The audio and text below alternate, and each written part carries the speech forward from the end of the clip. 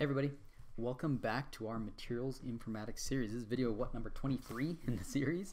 So if you're just tuning in now, realize that there's a bunch of previous videos where we talk about the basics of materials informatics and things that we've covered so far, featurization, simple algorithms, stuff like that. Uh, and we're getting into the more complex algorithms, and today we're going to do that by talking about convolutional neural networks, which are revolutionary. That's not just my opinion. These have absolutely revolutionized deep learning.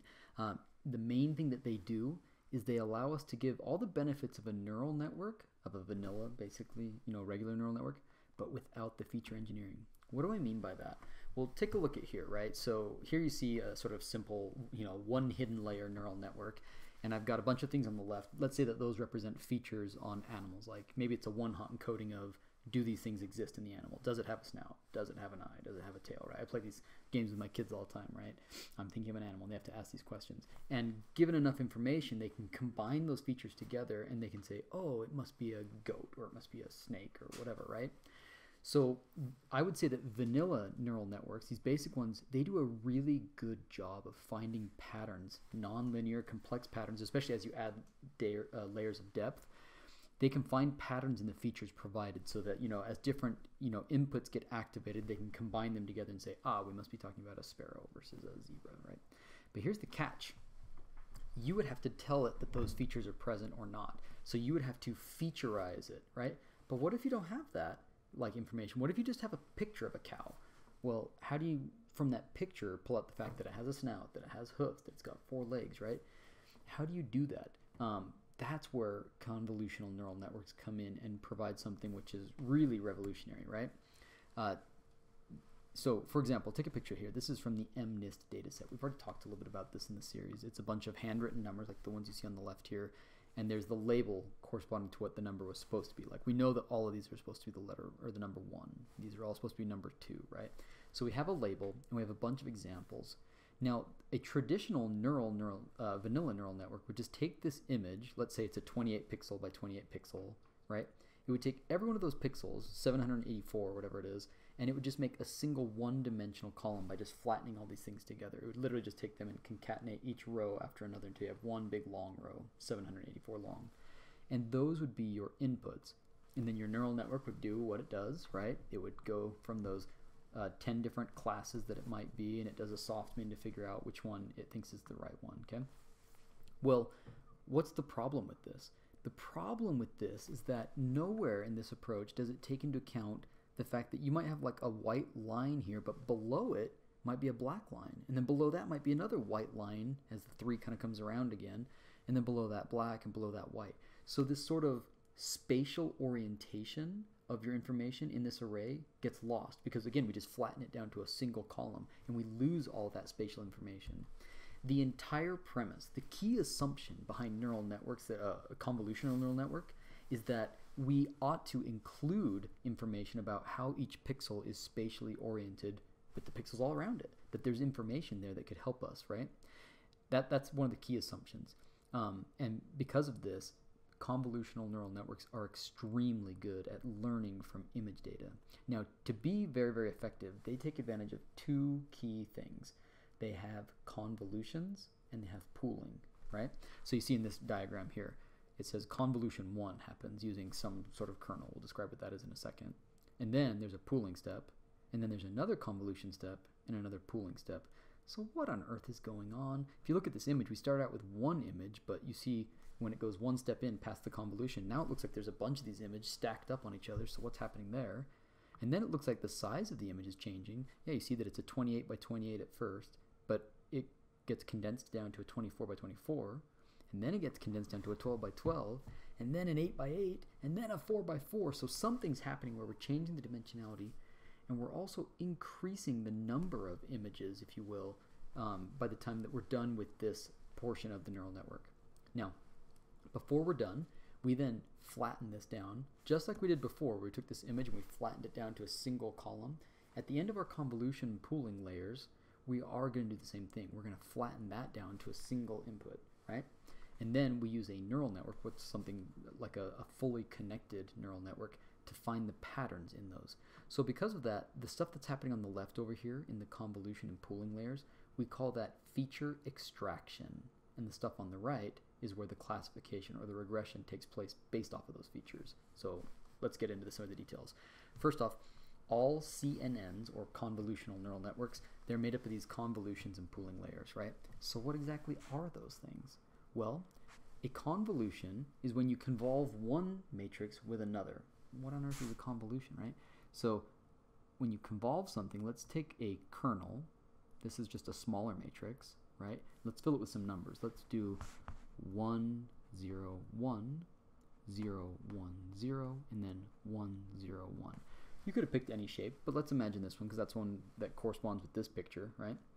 If you took this kernel and you laid it on top of your original image, it's going to take up more than one pixel because this is a 3 by 3 matrix and so we're going to have to lay that over a sing, you know a, a portion of the image but it's not going to be a single pixel so let's imagine it's this purple region over here that's where we're going to put the kernel on top of our original image if we now do matrix multiplication of these two different matrices take a look you can see that the zeros which are located at the top left right and bottom they're going to turn some of these values into zeros right they're going to take this one and make it zero 0, 0, and 0. And the other ones are all multiplied by 1. So when we're done, if we do matrix multiplication, the dot product here, we're going to add it up. And what you'll see is that when we multiply and add it up, that adds up to 1, 2, 3, 4. And so you stick a 4 in the first entry of your convolution output, right? So you start out with an input. When you do a convolution, it's going to produce a, it's sort of like a transformation of your initial matrix. And then when you've done that first step, you now do a you now convolve your filter over to the next spot. So see how I've located I've rotated I haven't rotated I've translated it over one pixel and we do the exact same thing. I'm going to put my you know zeros. I'm going to allow them to turn things to zero. Everything else is a one. We add it up and now it's a two. So the first entry over here in our con convolved matrix was four, followed by two, and you could keep on doing this and you'd see that this one, if you slide it one or more over, it gives you two slide it over the last one, it gives you three. And when you're done going across the row this way, then you start back over with the next pixel down and the next row down. Okay? And you keep on convolving this until you completely fill your image. That will give you what we call a convolution. So why? More on why in a second. That's the that's what's happening. We'll talk about why we do that in a moment. We then follow that with a pooling step. You do a convolution and then you typically follow it with a pooling step. Pooling is different pooling, instead of doing a matrix multiplication, we also have a filter, a smaller region. In this case, maybe it's a 2 by 2 filter, right? And we're going to put that filter right here. And then we're going to say inside that 2 by 2 area, give me, since this is a max pool, give me the biggest number. What's the maximum number? And in that one, you'd say 2. Then we're going to do something called a stride 2, maybe. And a stride 2 means don't shift it over one pixel, shift it over two pixels, right? and do the same thing. Well, in that one, it's also 4. And then you come down here and you do your next one. And in that area, the biggest number is 3. And then over here, it's 5. What pooling does is a couple things. It's reducing the dimensionality, right? We went from, we started out with a 6 by 6 and that turned into a 4 by 4 because the kernel was a 3 by 3 and it, you can't slide it over every single pixel. So we ended up reducing our dimension a little bit. And then with pooling, we reduced that dimension from a 4 by 4 down to a 2 by 2 the goal of doing this is to extract just the most important information and throw out the stuff that didn't matter. So things that have a high signal, let's try and keep those, but toss the things that don't matter. More on why we do this in a moment, but this is kind of what's happening. When you hear about a convolution or a pooling, it's typically something like that. Okay? Now I mentioned earlier that convolution and pooling is done because this allows us to extract features from an image automatically, and then at the end, we put it together with a fully connected network to find patterns in that data. So how does it do this feature extraction from an image? Like for example, this picture of this boats, if I wanted to say that a boat's there, I'd see water. I see things that kind of look like they come to a point. I'm seeing, you know, two of them and it looks like they're next to a dock. So my brain kind of has this information, but your neural network doesn't have any of that. It doesn't have those custom features. So instead, what it needs to do is through this process of convolution pooling, convolution pooling, it needs to learn what sort of shapes and colors and edges and things are present in this image. And once it finds those, those are now your features. You can then find patterns based off of those features uh, to figure out that, yeah, sure enough, that's a boat and not a bird or something. So how on earth do these kernels um, help us find things like edges, shapes, corners, colors, gradients, to the point where you can actually say that's a boat and that's a cat, right? Well, here's an example. Take a look at this image of this house. In this image of this house, we're going to try and take four different kernels, shown here, this one on the top left, top right, bottom left, bottom right, and we're going to convolve them over this image and then see what it gives us. If you convolve it, again, we're doing matrix multiplication at every single position that we can. Let's see what the output would be. Well, with this filter, or this kernel, this is the output filter of that kernel. So you can see that this uh, kernel, it sort of has like big numbers and then slightly less positive and then zeros and then negative and then more negative numbers. So that one, as you can see in this image, does a really good job of finding horizontal lines in your image. Whereas this one over here is a different kernel, right, with its sort of shape. It does a really good job of finding where there are x's, right, where there's diagonal, not just x's, but where there's diagonals in your data. You can see that it's finding these diagonals of the roof and here in the windows. It's doing a good job there. This filter over here looks like it's doing a good job of finding corners. This one over here is just kind of a general, it's finding edges really well in general. And the point is, if you had, you know, you can do multiple different filters. You don't have to pick just one kernel and one filter. You can do four or eight or 10 or 12 or whatever you want. That's why when they show the image and after the convolution step, you'll notice that there are multiple images. That's because you can apply multiple different kernels to your image during the convolution and some might be a better job of finding colors, but some others might be a better job of finding vertical lines or horizontal lines. The point is that this all happens in the first step, followed by pooling, just to make it so there's less data that we have to do calculations on, that it just pulls out just the key information, right? And then we do another convolution step, and this allows us to combine simple shapes to make more complicated shapes. Hence why we do this convolution, and then we pool that, and you can do this several times if you want, okay? So how exactly does this kernel give us this shape over there? Let's do an example. I think this is worth our time. Okay, let's imagine for a moment that I have it, uh, this is our data. You can see that there are six columns and the three on the left, these ones over here, are all small values and these ones on the right are all large values. So this might represent in your image a region where you had like dark followed by light. So it's a vertical line basically in your image. Well, how are we going to find that with a filter? Let's start by identifying a filter. We're going to use the so-called Sobel filter. The Sobel filter is this famous filter that was used early on that has this shape. Let's say it's got zeros going down the middle, negative 1, negative 2, negative 1, positive 1, positive 2, positive 1. Now when you take this kernel and you lay it over your image and start doing matrix multiplication, let's just see what happens. Let's pick this position first. Well, in that position, all the pixels are the exact same. And this kernel is symmetric. So if we actually do the, the convolution, we're going to see that it's equal to negative 25, negative 50, negative 25, 0, 0, 0, and then it's positive 25, positive 50, positive 25. Well, if you add all of that together, what do you get? You just get zero. So if we were to sort of create a filter, you know, a, a, a, a convolution of our first image, then that first position that first position would just be filled with a zero. It wouldn't give us any signal because there's nothing, there's no vertical line there. Okay, not interesting. Let's move it over one and see what happens.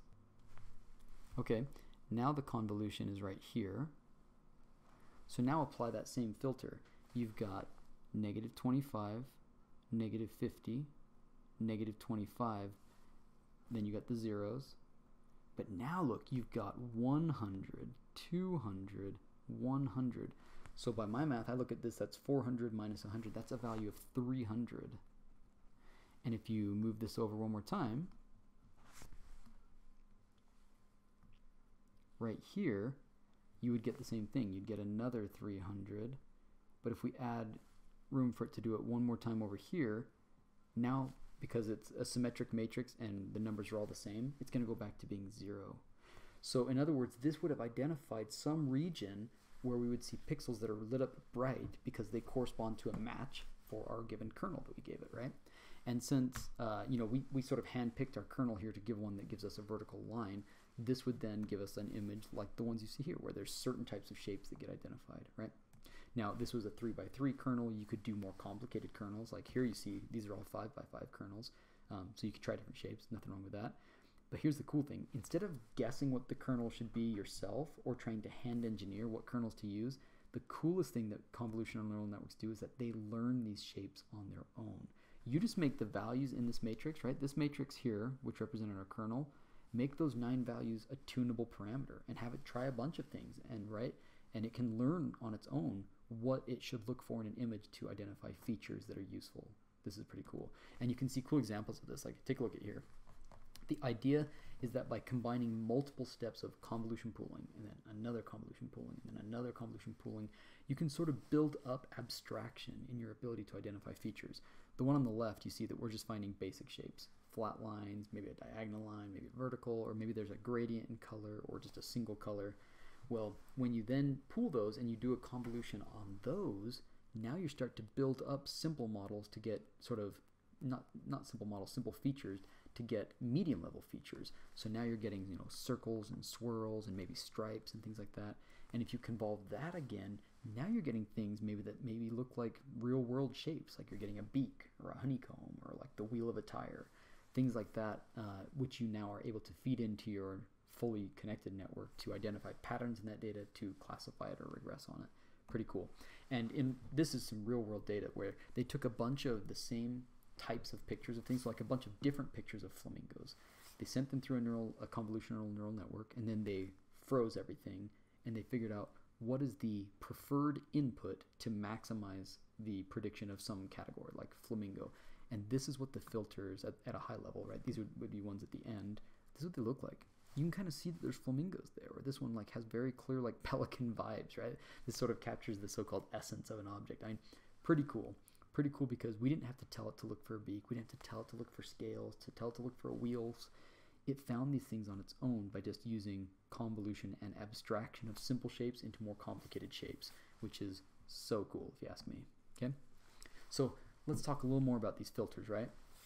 Um, the kernel does a bunch of things. First off, for one reason, like think how big images are. Nowadays, images, you know, your your cell phone can capture images that are way insanely big. You know, many, many megabytes.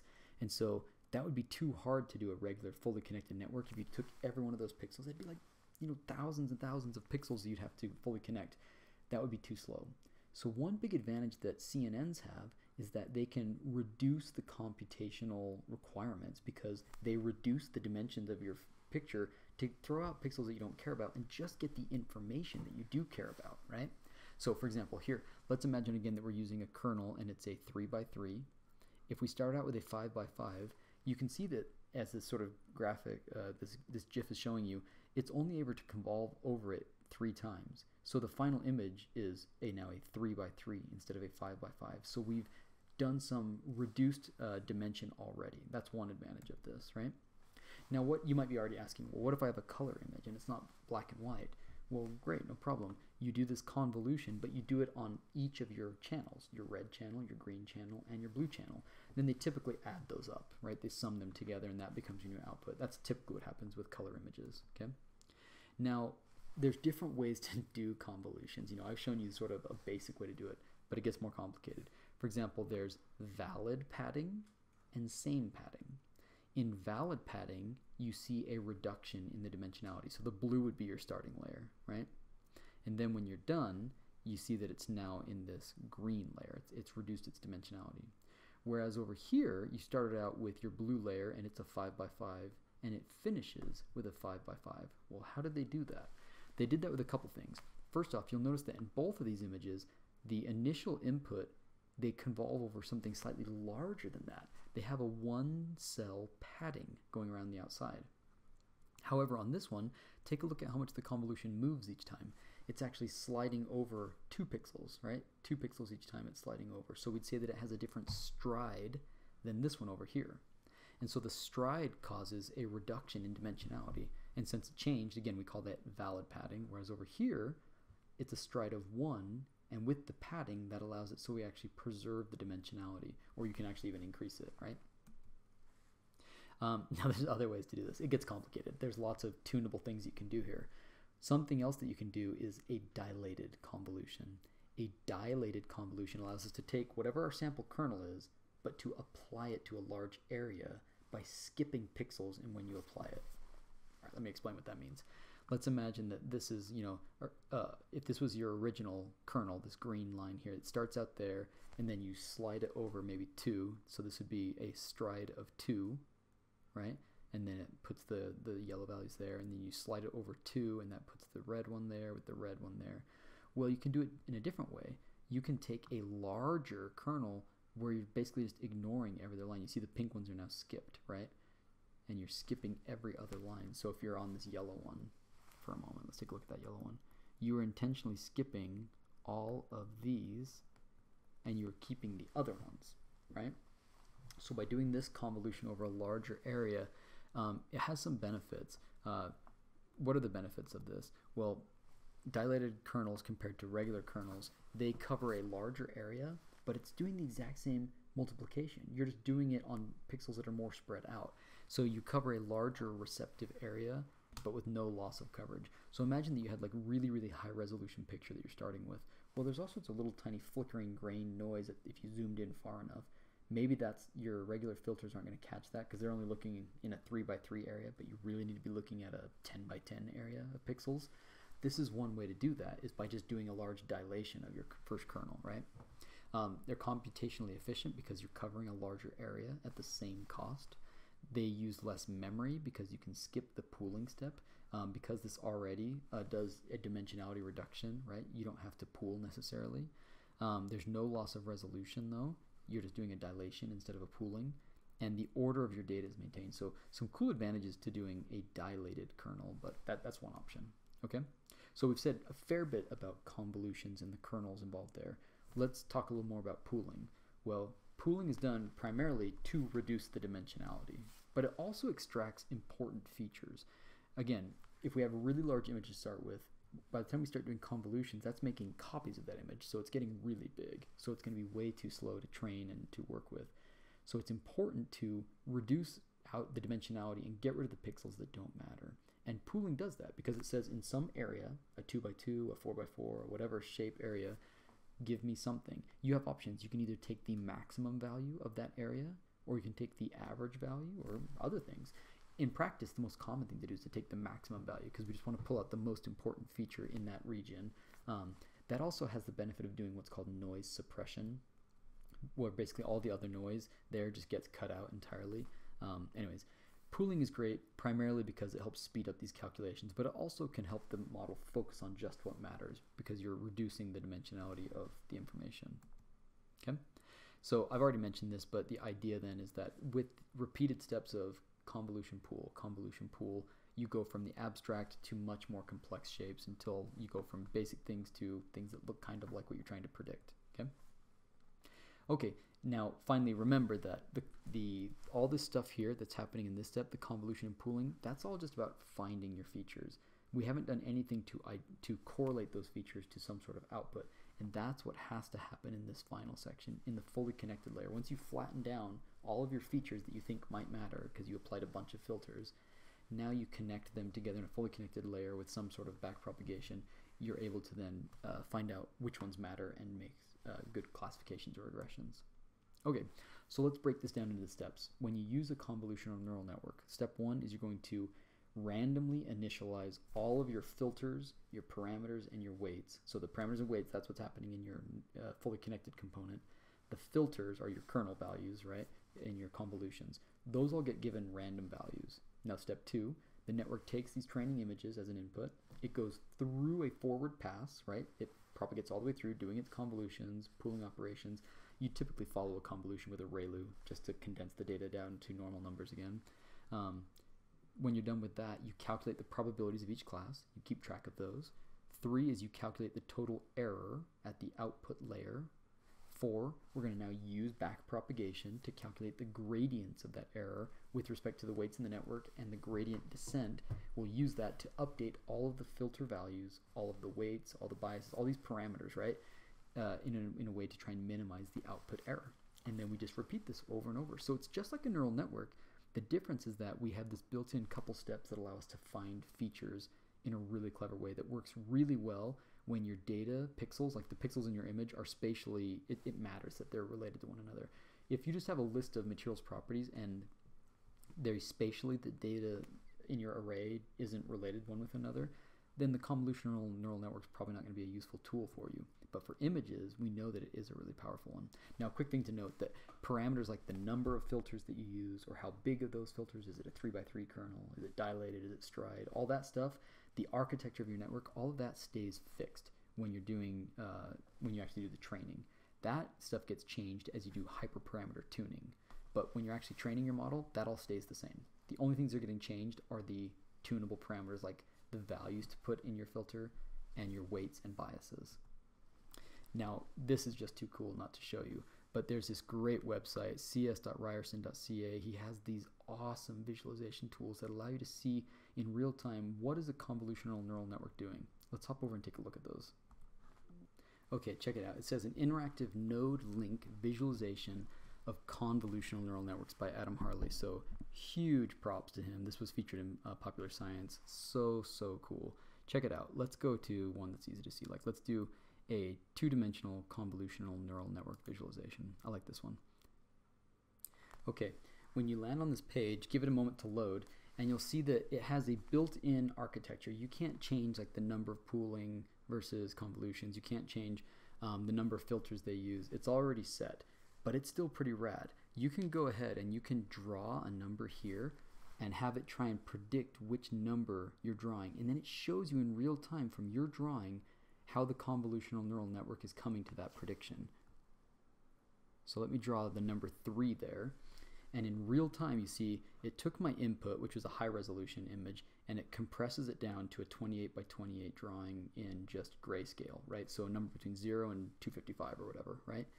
Now the next layer up, take a look here, you're seeing that these are convolutions and they're doing six different filters. And each one of these pixels you hover over, it'll tell you the region of the image that it's convolving over, right? Over here at that top point, well, it's convolving over that top point of my main image. And you'll see that in these six different filters, they're paying attention to different things. Like this one is looking at vertical lines. This seems to be looking at horizontal lines. This is kind of a diagonal one. This is the other direction diagonal. Who knows what's going on here, right? And then it takes these and we reduce their dimensionality by just keeping the most important bits by doing a pooling layer. And again, it'll show you what things are getting pulled together in these sort of visualizations, which is so amazing. Now, these still look like the, the filters, sort of. They're lower resolution. But when we do another convolution, look at these funky shapes that get created right? There's more of them now. I haven't counted, but there's more of them. You can see that it's actually taking from several of these things to make a single one. It's it's doing the convolution off of several images, not off a single one, right? And then when those get pooled, it's even stranger still. Like who knows what these things are? So now that's the end of our feature extraction step. So now we flatten all of that down into a single one-dimensional vector, right? You can see where it's pulling that information from for all of these things, right? And then it does a fully connected network, so you can see how these are all connected with one another, which is so cool. And then it shows you that it thinks that number is a 3 based off of how those are all connected together. In real time, it does this, and you can change it. And you can intentionally draw a number that isn't even a number, right? Let's go ahead and erase this. And this time, let's draw something that's not even a number and see what it does. So that kind of looks like a 6. It kind of looks like a 0 kind of looks like an 8 and check it out in terms of its probability it's less certain now it thinks it's a 0 but it also thinks it's a 6 kind of thinks it's an 8 it even kind of thinks it's like a 1 or a 2 right and you can see again where it's paying attention to it so there's some really amazing tools that sort of open up the black box of how exactly convolutional neural networks are able to do this feature extraction it is such a powerful technique um, anyways glad to talk about it today. So in our next video, now that we've talked about the basics of convolutions and convolutional neural networks, we're going to turn our attention to recurrent neural networks. So stay tuned. See you in the next video.